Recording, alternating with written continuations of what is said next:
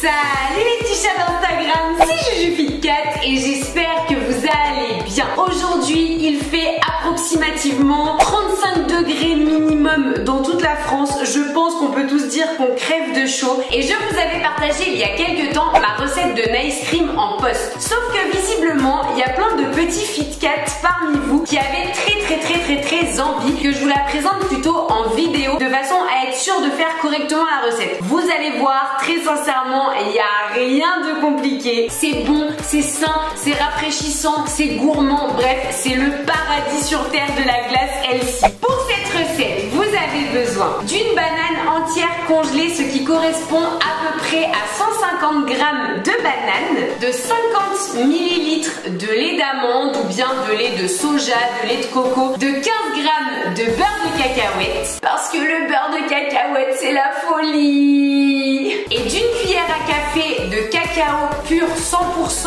en poudre pour donner un petit côté chocolaté. Assez parlé les petits chats, Maman FitCat est une vraie pipelette. Passons tout de suite à la recette.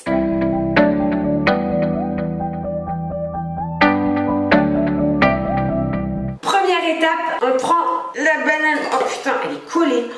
La banane qu'on avait mis à congeler la veille ou bien au minimum 4 à 5 heures avant de préparer la glace dans le mixeur. Ensuite, on ajoute notre lait végétal. Ok, on y va doucement. On y est presque. Ok, parfait. On ajoute notre cuillère à café de cacao en poudre. Et pour finir, parce que comme toujours, on garde le meilleur pour la fin. Oh là là. Putain, cette odeur, putain, c'est. Ça, c'est mon péché mignon, mais quand je vous dis que je peux le bouffer à la cuillère, comme ceux qui sont addicts au Nutella, je suis sûre que vous comprenez ce problème de bouffer direct dans le pot à la cuillère. Mais moi, c'est exactement ça, mais avec le beurre de cacahuète. Donc, on en ajoute 15 grammes. Euh, ouais, encore un petit peu. Mmh. Bah oui, non, mais j'allais quand même pas donner le reste au lave-vaisselle. C'est meilleur pour mon estomac. Mmh. Ah putain, c'est trop bon.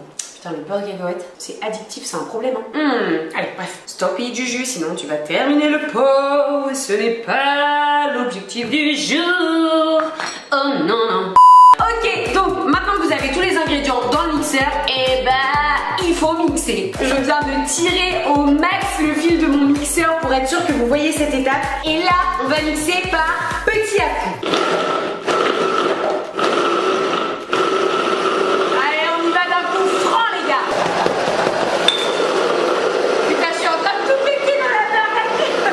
Putain, les petits FitCat, je voudrais pas me vanter, mais je crois qu'on arrive à la consistance parfaite. Oh là là, oh oui.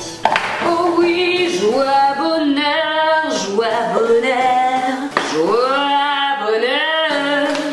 Oh, mais cette folie de la mort qui tue. Comme vous l'aurez compris, prochaine étape, on vide ça dans un petit bol d'amour. Histoire de faire genre, on est des fit girls instagrammables, hein, voilà, voilà. On met ça dans un petit bol en bois, attention. Enfin, en noix de coco. Alors, c'est pas du tout la même chose. Bois et noix de coco, ça n'a rien à voir. Merci Justine pour ta connaissance en déco.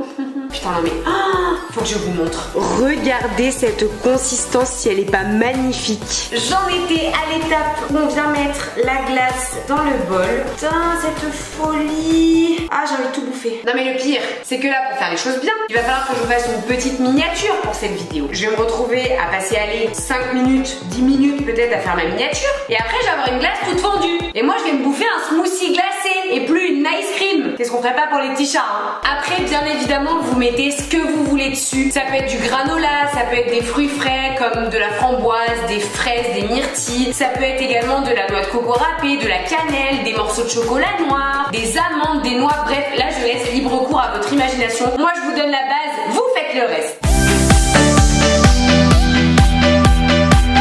Mise au point, mise au point. Bien sûr, ma girl.